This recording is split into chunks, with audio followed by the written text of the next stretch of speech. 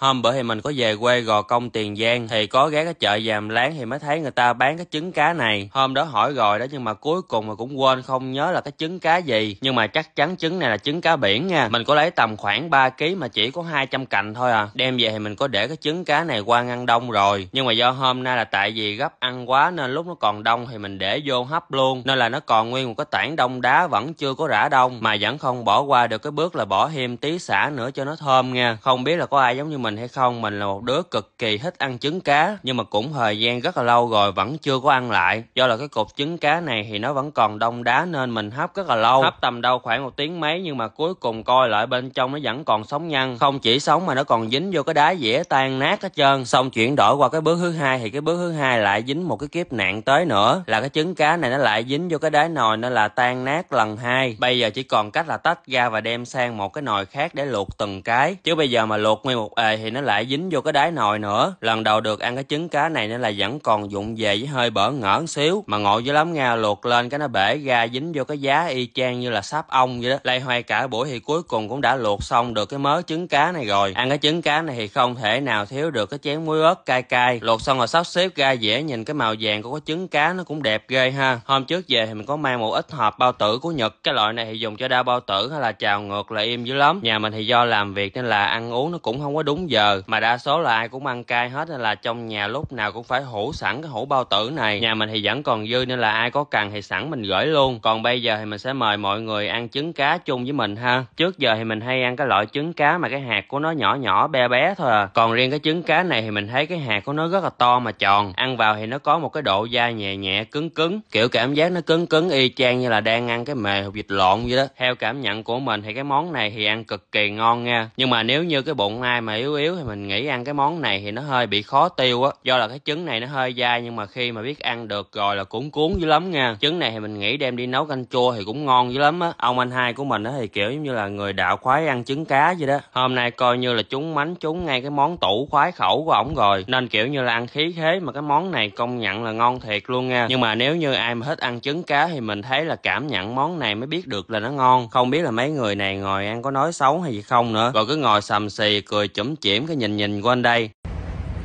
Cái trứng này mọi người thì ăn vào á là nó bị uh, nó là nó dài dài nó giòn giòn nó không phải là mềm nhưng mà cái trứng cá lóc hay là cá lóc nó nhỏ nhỏ không? Còn này nó, cái hột trứng nó to.